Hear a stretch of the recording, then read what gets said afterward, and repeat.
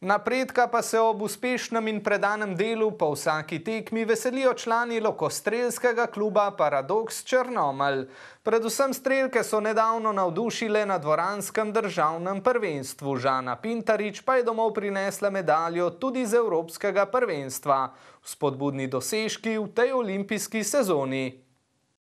Državno prvenstvo je potekalo v Šenčurju, tri tekmovalke paradoksa pa so bile med petimi najboljšimi strelkami z ukrivljenim lokom. Žana Pintarič je postala državna prvankinja med mladinkami in članicami, Urška Čavič je bila med članicami druga, Nastja Jakovčič pa peta, med kadetinjami pa je zmagala.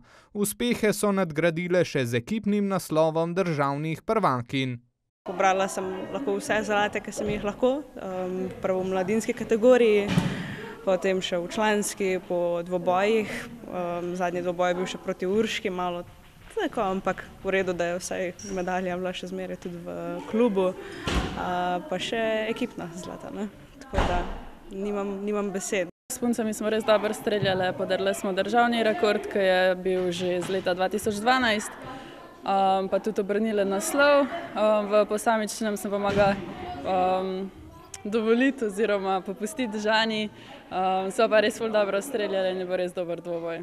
Osebno sem malo živčna, ker kot kadetinja sem streljala za članice, ampak se je izteklo dobro in se je naš trud v bistvu izkazal. Delamo na tem in se res trudimo, vsak trening skoncentrirano streljamo se trudimo, v bistvu, pač, da nam res da pride do uspehov, ki si jih same želimo.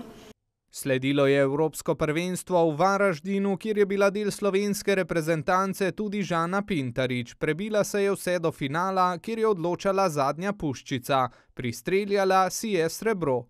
Koliko pa dekleta razmišljajo o letošnjih olimpijskih igrah? Trudim se ne preveč, ker vemo, da če bom preveč razmišljala, bom pozabila na kaj drugega pomembnega. Tako da um, vem, da sem se trudila dosti, dosti zdaj, še posebej na članskih pripravah, že dve leti hodim na njih. Um, delamo vse, da, lahko, da, nam, da imamo omogočeno čim lažjo pot. Cel čas. Tudi že pač leta prej, ker uh, olimpijske se gradijo štiri leta prej, ne na olimpijsko leto. Torej, um, pač gradimo na tem že vrsto let in upamo, da se pač letos pokažejo um, rezultati v tej smeri, da se udeležimo olimpijskih kot prve ženske v zgodovini Slovenije.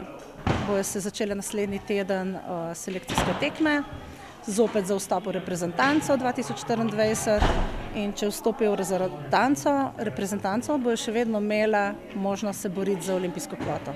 Zadnje uspešne dosežke so seveda proslavili tudi s torto.